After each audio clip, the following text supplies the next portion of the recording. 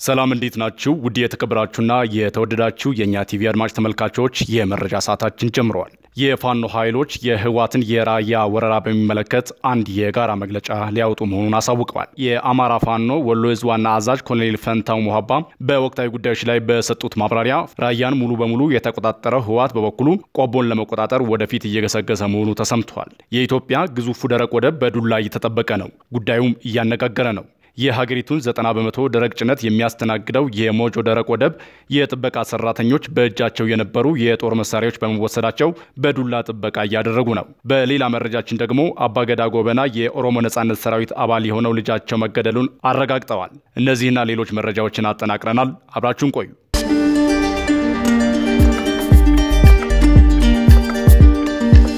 የፋኖ ኃይሎች የህወሓትን የራያ ወረራ በሚመለከት አንድ የጋራ መግለጫ ሊያወጡ መሆኑን አሳውቀዋል። የአማራ ፋኖ ወሎ ዕዝ ዋና አዛዥ ኮሎኔል ፈንታው ሞሀባ በወቅታዊ ጉዳዮች ላይ በሰጡት ማብራሪያ ኮሎኔሉ የህወሓት ወረራ የአማራ ፋኖ አንድነትን፣ የፋኖ ኃይሎችን ወቅታዊ አቋምና አቅም በሚመለከት ማብራሪያ ሰጥተዋል። በመሆኑም ኮሎኔል ፈንታው የአማራ ፋኖ ወደ አንድ አደረጃጀት እንዲመጣ እየተነጋገርን ነው ሲሉ ገልጸዋል። በተጨማሪም በአማራ ርስቶች ላይ ያላቸውን አቋም ይፋ አድርገዋል። ህወሓት የፈጸመውን ወረራ በሚመለከት ሁሉም የአማራ ፋኖ አደረጃጀት በዚህ ጉዳይ ላይ ወጥ አቋም ይዘው አንድ መግለጫ እንዲያወጣ ተወስኗል ሲሉ ተናግሯል። ይህ በእንዲህ እንዳለ የህወሓት ኃይሎች የራያ አላማጣ አካባቢዎችን በኃይል ገፍተው ከተቆጣጠረ አንድ ሳምንት ሲያስቆጥሩ ወደ ራያ ቆቦ ቀበሌዎች እየተጠጉ መሆኑ ተገልጿል።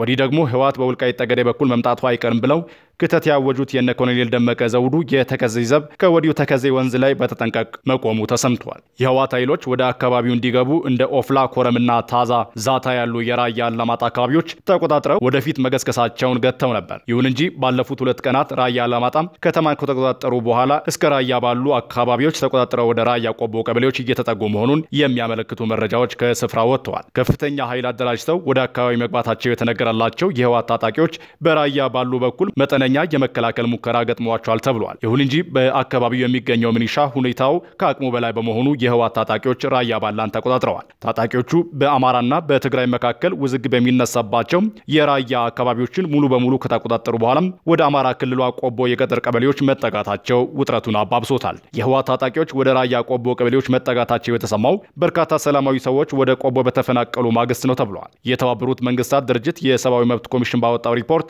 30 ሺህ ገደማ ዜጎች ከራያና አላማጣ አካባቢዎች መፈናቀላቸውን አስታውቀዋል።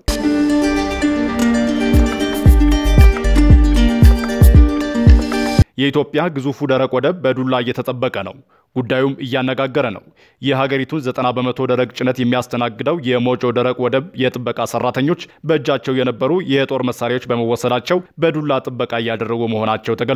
ይህ የተገለጸው የህዝብ ተወካዮች ምክር ቤት መንግስት ውጭ አስተዳደርና ቁጥጥር ጉዳዮች ቋሚ ኮሚቴ ሚያዝያ 9 ቀን 2016 ዓ ም የ2014 15 ባህር ትራንስፖርትና የየብስ ወደቦች አገልግሎት የክዋኔ ኦዲት ሪፖርት ላይ ውይይት ሲያደርግ ነው። በደረቅ ወደቡ ለሚሰሩ ጥበቃዎች የጦር መሳሪያዎችና ጥይቶች፣ የመገናኛ ሬዲዮዎች የሰውና የተሽከርካሪ መፈተሻ መሳሪያዎችና የመሳሰሉት እንዲሟሉ አለመደረጉ ጥያቄ ቀርበዋል። ደረጃቸውን የጠበቁ የጥበቃ ማማዎች፣ የግቢ ዙሪያ አጥርና የቅኝት ካሜራዎች በሁሉም የስጋት ቦታዎች አለመኖራቸውን፣ ካሜራዎች ከመሬት ከፍ ብለው በመሰቀላቸው መሬት ላይ ያለውን እንቅስቃሴ በአግባቡ መቅረጽ አለመቻላቸውን፣ የካሜራዎች ቀረጻ መቋረጥ፣ የተቀረጹ ቪዲዮዎች በስርዓት አለመቀመጥና ሲፈልጉ አወጥተው መጠቀም አለመቻል የሚሉ የወደቡ በርካታ ችግሮች ተጠቅሷል። የባህር ትራንስፖርትና ሎጂስቲክ አገልግሎት ድርጅት ምክትል ዋና ስራ አስፈጻሚ አቶ ምህረትአብ ተክሉ የጦር መሳሪያዎች አቅርቦት ችግር ሊፈታ አለመቻሉንና በተለይ በሀገሪቱ ካለው የሕግ ማስከበር ዘመቻ ጋር ተያይዞ በየደረጃው ላሉ አካላት ጥያቄ ቢቀርብም መልስ አልተገኘም ብለዋል። አሳማኝ ምክንያት ቀርቦ ግዢ እስኪፈቀድ ድረስ በመጠባበቅ ላይ መሆናቸውንም ተናግረዋል። የጥበቃ ሰራተኞች የተቋሙን መሳሪያዎች ይጠቀሙ የነበረ ቢሆንም መንግስት ለምዝገባ ብለው በመውሰዱና ባለመመለሳቸው በዱላ ብቻ ጥበቃ እየተደረገ ነው ብለዋል። ጉዳዩ ከድርጅቱ አቅምና ቁጥጥር በላይ በመሆኑ ጥያቄው ለሚመለከታቸው አካላት ቢቀርብም መልስ ማግኘት እንዳልተቻለ አስረድተዋል። የሞጆ ደረቅ ወደብ ከመደበኛ የጦር መሳሪያ በተጨማሪ በድሮን መጠበቅ የሚገባው ነው ያሉት አቶ ምህረትአብ ካሉት የጥበቃ ሰራተኞች በተጨማሪ በአካባቢው የፌዴራል ፖሊስ በመኖሩ ለወደቡ ደህንነት ትልቅ ሚና እየተጫወተ ነው ብለዋል። የወደቡን ደህንነት ለመጠበቅ ከ80 ሚሊዮን ብር በላይ ወጪ ተደርጎ CCTV ካሜራ ቢገጠምም አልፎ አልፎ የኤሌክትሪክ ኃይልና ኢንተርኔት በማይኖርበት ጊዜ የአገልግሎት ክፍተት እንደሚፈጥርም ገልጸዋል። አቶ ምህረትአብ የአንድ ቀን ወይም የግማሽ ሰዓት ያህል መጥፋት ወይም የኢንተርኔት መቆራረጥ ሲያጋጥም የጥበቃ ሰራተኞችን በማደራጀት የወደቡ ደህንነት እንደሚጠበቅ ተናግረዋል። ይህ በእንዲህ እንዳለ ቋሚ ኮሚቴው በኦዲት ሪፖርቱ ላይ ባቀረበው ጥያቄ ተቋሙ በ multimodal ትራንስፖርት ከውጭ አገሮች በጅቡቲ ወደብ ወደ ሀገር ውስጥ የሚያስገባቸውና የሚያጓጉዟቸው እቃዎች የትራንዚት ሂደታቸው ጠብቀው ወደ መዳረሻ ቦታቸው እንደማይሄዱም ገልጿል። በአገልግሎት አሰጣጥ ስህተት ምክንያት እቃዎቹ ጅቡቲ ወደብ ከደረሱ በኋላ ጅቡቲ መራገፍ ሲገባቸው ሞጆ አዲስ አበባ ኤርፖርት ጉምሩክ ቅርንጫፍ መራገፍ ሲገባቸው ቃሊቲ የተራገፉና መሰል ችግሮች መኖራቸውን ቋሚ ኮሚቴው አስታውቋል። በሌላ በኩል ከጅቡቲ ወደብ ወደ ሀገር ውስጥ ደረቅ ወደቦች በኮንቴነር እቃዎች ለማጓጓዝ ውል የገቡ የትራንስፖርት ማህበራት በህገ ወጥ ንግድና የኮንትሮባንድ እንቅስቃሴ መሳተፋቸው በኦዲት መረጋገጡ ተገልጿል።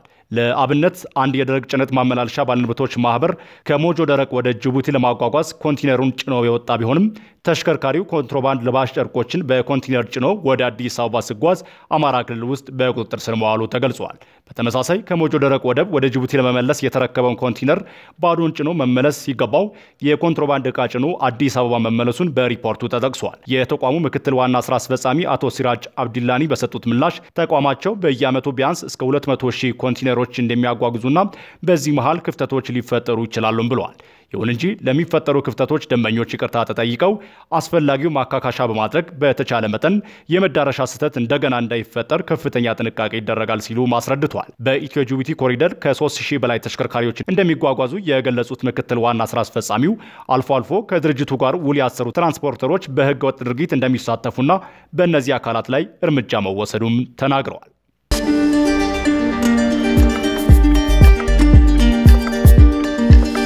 አባገዳ ጎበና የኦሮሞ ነጻነት ሰራዊት አባል የሆነው ልጃቸው መገደሉን ከማህበራዊ ሚዲያ መስማታቸውን ተናገሩ። ከአንድ ሳምንት በፊት በኦሮሚያ ክልል የምዕራብ አርሲ ዞን ኮሚኒኬሽን መንግስት ሸኔ የሚለው ቡድን አባል ነው ያለው የአባገዳ ጎበና ልጅ ሰላማዊ ሰዎችን ለመግደል ሲንቀሳቀስ እርምጃ ተወስዶበታል ብሎ ነበር። ይህን የዞኑ መግለጫን ተከትሎ በኦሮሞ ባህላዊ አስተዳደር ስርዓት ውስጥ ትልቅ ስፍራ በሚሰጠው ገዳ ከፍተኛ ኃላፊነት ያላቸው የአባገዳ ጎበና ልጅ የመገደል ዜና ብዙዎችን ሲያነጋግር ቆይቷል።